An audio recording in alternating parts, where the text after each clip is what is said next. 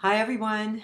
It has been a while since I've been um, able to do a, a, video post and I'm going to make every effort to try. I think I said this the last time though, so you might want to take that with a grain of salt. But I am going to make every effort to uh, be a little more uh, uh, patterned and, and, and constant about making some, some videos and posting. It feels like it's just been, you know, uh, the last couple videos have just been so far apart from one another. So I'm going to try to do a better job.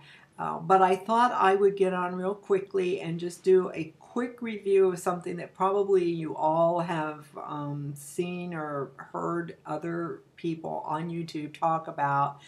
But um, quite often, when I the folks that I have tended to watch um, talk about the Laura Mercier um, it's called Eye Basics, but I think you know the the typical thing is that it's really a um, an eye and a primer for your eyeshadow. I think um, in wheat, which is what I used. Um, I've certainly seen a lot of people post about how wonderful it is and how much they love it.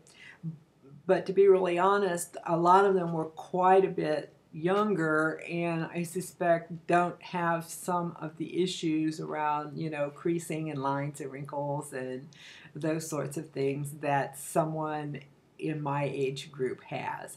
And so I always have kind of taken it with a grain of salt, although I must say I have tried a million and one products because someone said how fabulous that product was as, as a primer for eyeshadow.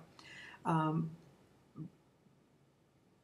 and none of them have ever really worked well for me. They were too oily, they were too dry, they settled in creases, they um, made my um, skin on my eyelids, even up, you know, close to my brow, seem um, almost scaly looking. I mean, it just gave, uh, you know, it just did not make for a very nice look. And so I had pretty much given up that I was ever going to find a primer um, that worked for me. And I finally gave in and purchased the Laura Mercier. And oh my gosh, this is, you know, as an older person who does not have, you know, wrinkle free and smooth eye, um, eyelids, I can tell you that, you know, for me, this is hands down the very best primer I have ever used. It does exactly what I would want it to do. It kind of, you know, um, makes my lid have sort of a, you know, a single shade rather than the, you know, kind of darkness that I have on my um, upper lids. It, it is easy to apply. It comes with a doe foot applicator and it just takes like a couple small dots on the eyelid and then I just, you know, pat it to distribute it over my lid and up, you know, into the upper portion of my eye, coming right up to my brow. And it dried quickly. There was no, you know, waiting around for it to dry so I could move on to the step of putting on my eyeshadow. It made my eyeshadow was easy to blend and apply. Um, I don't have tons of shadow still on, but I didn't put much on this morning, and it has been at least 12 hours since I since I put my eyeshadow on this morning. So I think it has allowed my eyeshadow to stay pretty well. And even at the end of the day, I just checked in one of those horrifying magnifying mirrors that that most of us have that you know just every little flaw is is enormous when you look at it.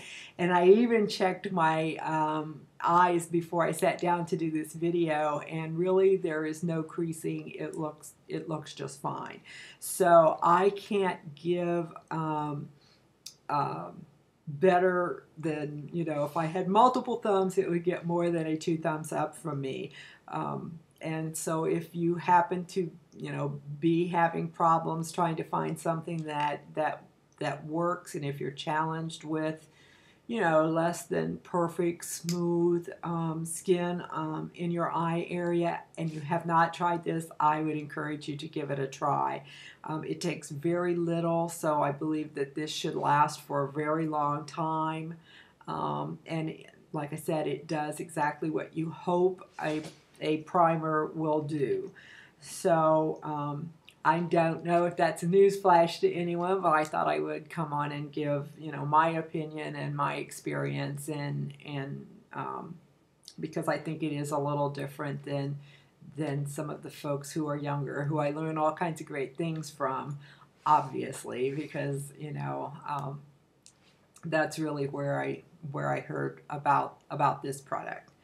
And then, real quickly, I just wanted to, um, quite obviously, this is yet a different hair situation than my last video. And I su highly suspect that, you know, you will see multiple um, hairstyles and colors and, you know, cuts and whatever um, as I go through, you know, my, my experience here.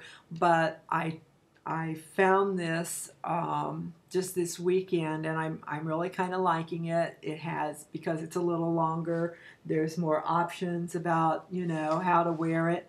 I think it's got pretty nice movement for you know not being real human hair, and I think the thing I particularly like about it is. Um, it's it's very comfortable. It's what they call a lace front wig. It's very comfortable because there's no elastic in in the front and and along the sides. There's only some elastic in the back, and the front of it actually um, you it comes with with lace. Um, I think lace is kind of an odd word. It's really more like a very, very, very fine mesh netting, almost extremely fine, that you that you cut and and it actually has um, sort of individual hairs placed on the hairline, so that unlike some of the the wigs that have um, elastic all the way around, you have the opportunity of not wearing bangs with this. I happen to have cut some bangs into it because I prefer to wear bangs. And I'm going to see my beautician in a couple days, and I'm probably going to ask her to cut even a little heavier bang, but I didn't want to be responsible for destroying this before she could get her hands on it.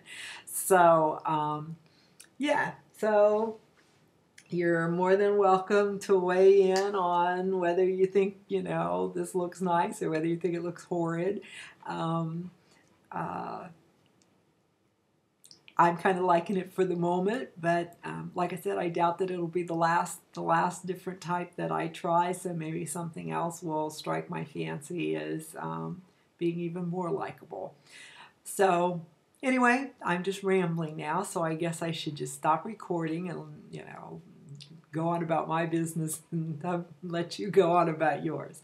So I um, hope everything's going well for everyone and that your you know you know your week is so far a good one. And I will um, talk to you all another time. Bye bye.